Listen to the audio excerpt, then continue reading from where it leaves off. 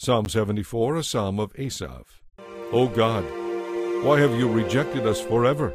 Why is your anger so intense against the sheep of your own pasture?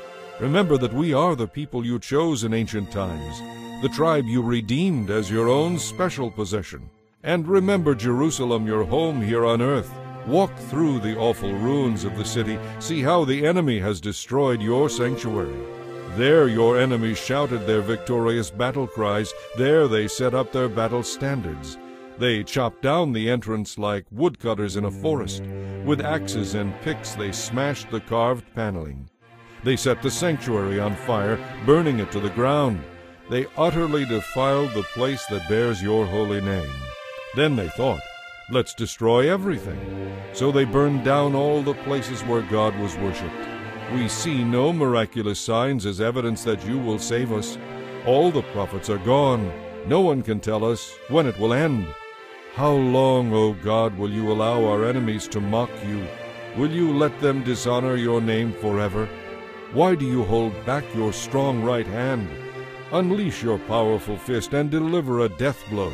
You, O God, are my king from ages past, bringing salvation to the earth. You split the sea by your strength and smashed the sea monsters' heads. You crushed the heads of Leviathan and let the desert animals eat him. You caused the springs and streams to gush forth, and you dried up rivers that never run dry. Both day and night belong to you.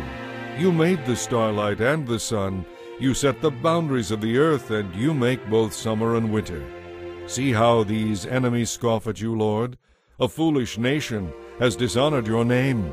Don't let these wild beasts destroy your doves. Don't forget your afflicted people forever. Remember your covenant promises, for the land is full of darkness and violence. Don't let the downtrodden be constantly disgraced.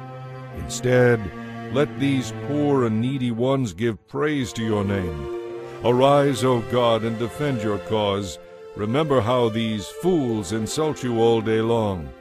Don't overlook these things your enemies have said. Their uproar of rebellion grows ever louder.